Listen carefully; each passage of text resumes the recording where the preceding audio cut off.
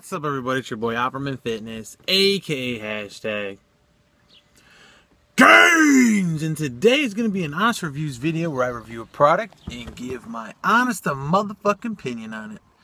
Today's product is going to be an unreleased product from Quest Labs protein tortilla chips nacho cheese. And there's the macros. What you're looking at here is 130 calories per bag, 4 grams of fat, 4 carbs, 1 gram of fiber, less than 1 gram of sugar, and 20 grams of protein. If you would like to try unreleased products from Quest Labs, I will put that shit in the link below or the description box below. Basically, you sign that shit up. Once you get picked to be uh, a member, you can buy stuff that's unreleased and buy it and give your opinion on it. And uh, eventually they're going to come out with this stuff in a mass production instead of this bullshit ass, hippie ass, fucking put a slap a label on on a plain ass bag. But anyways, it's the nacho cheese flavor. I'm hoping it tastes like basically Doritos nacho cheese. I'm assuming that's what they're going for. Kind of smells like it, you know what I'm saying? By the way, these fucking, these are like $2.39. And look how many chips you get. Look at that. Now granted, that's 20 grams of protein, apparently. But look at that. Look at that.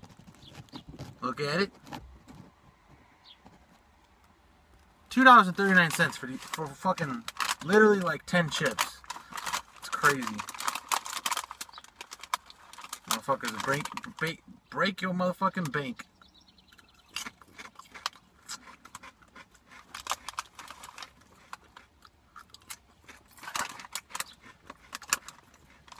Now, if I were to close my eyes, would I know that this is not Doritos?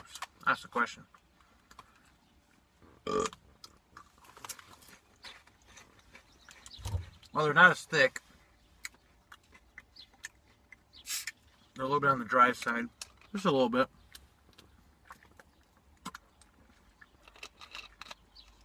Ah, gotta get that aspartame up in me. Yeah, they're a little bit on the dry side.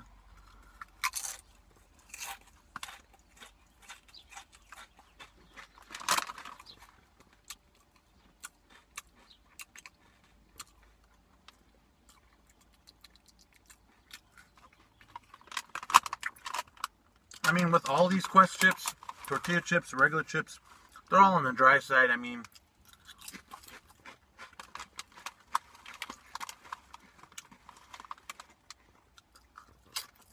You know what I'm saying?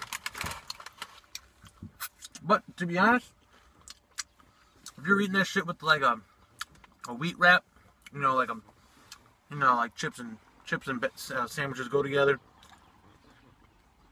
throwing all that shit in your mouth, you wouldn't even be able to tell. I mean, you'd be able to tell a little bit. They taste good, but by themselves, you, that definitely the dry factor comes into effect, and you could definitely you could definitely feel it and taste it. Other than that, they taste like you know, nacho cheese chips, really. I recommend them. Um, to be honest, though, they are expensive. I don't normally buy Quest products like on a regular basis. Every now and then I'll treat myself, but if they drop the price on a lot of the stuff, I would buy it a lot more. But I do suggest it if you like chips and you don't want to fucking deal with all them carbs and shit. They are pretty clean. They do taste pretty good. I do suggest it. And that's pretty much it. Thanks for the support. Let me know what you want to see next. if you don't like it, too fucking bad. Subscribe, share, like it, comment below. Scroll, but don't troll. And don't hate me because I'm fucking swole. And check you guys later.